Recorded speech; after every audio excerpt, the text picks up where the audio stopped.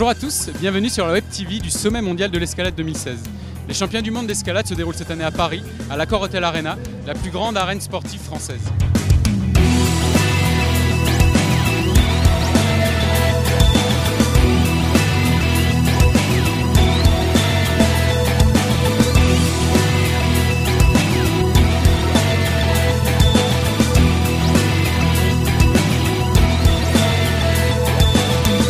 A donc débuté ce matin avec les qualifications du bloc masculin sur le fronton derrière moi. 120 grimpeurs, 5 blocs à réaliser pour sélectionner les 20 demi-finalistes qui s'élanceront vendredi au cœur de l'arène pour la demi-finale du bloc. Juste après, on retrouvera les qualifications en escalade la première voie pour tous les grimpeurs en escalade ainsi que les qualifications de la difficulté féminine.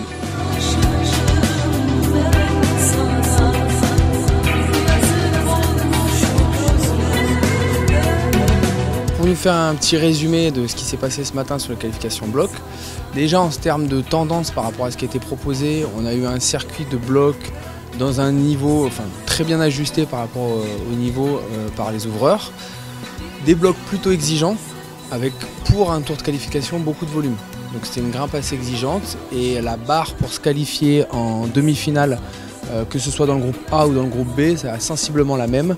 C'est-à-dire qu'il fallait faire 4 des 5 blocs proposés. Après, en ce qui concerne la tendance vis-à-vis maintenant des, grimpeurs, des, différents concurrents, ce qu'on peut remarquer, c'est que déjà les Asiatiques globalement ont répondu présent, puisque les deux favoris, les deux Japonais et euh, le Coréen Sean, euh, tous sortis dans les premières places de leur groupe.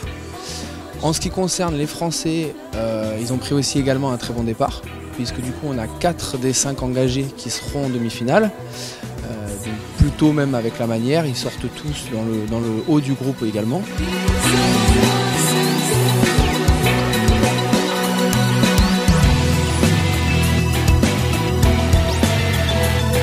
Je me trouve maintenant avec Sébastien Nieki qui a suivi pour nous la compétition en escalade.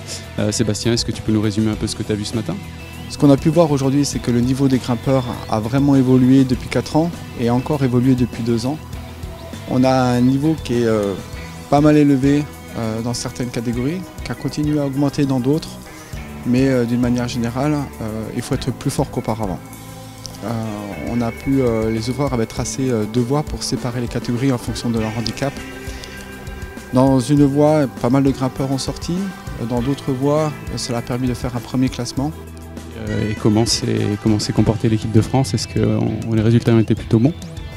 Pour nous, les résultats sont euh, bons, effectivement. Euh, tous nos grimpeurs se classent soit à la première place, soit à la deuxième place.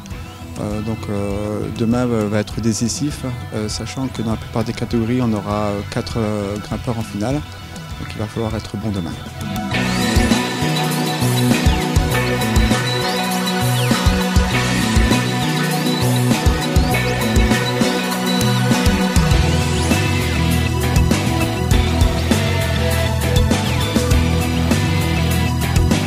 Tu as passé la journée au pied du mur de difficulté. Est-ce que tu peux nous raconter un petit peu ce que tu as vu? Eh bien, j'ai vu surtout des qualifs très exigeantes, euh, normal, hein, on est au championnat du monde, il y a énormément de concurrents. Euh, d'ailleurs, des prétendantes à la finale sont sorties dès ce tour, donc euh, ça a été quelques petites surprises. Nos Françaises ont plutôt, se sont plutôt bien comportées puisque les six passent en demi-finale. On sera donc la nation la plus représentée en demi-finale, donc ça c'est plutôt bien pour nous.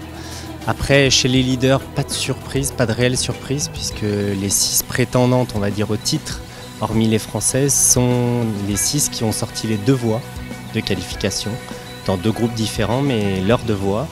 Donc elles sont elles aussi en forme, donc, euh, il faudra compter euh, sur les étrangères évidemment, mais aussi sur nos françaises en demi-finale.